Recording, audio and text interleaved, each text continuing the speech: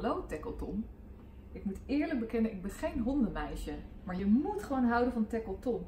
Bette Westra en Noelle Smit maakten een verhaal over een kleine Tackleton die lekker in een grote doos ligt met al zijn broertjes en zusjes bij mama Moeps. Maar wat gebeurt er?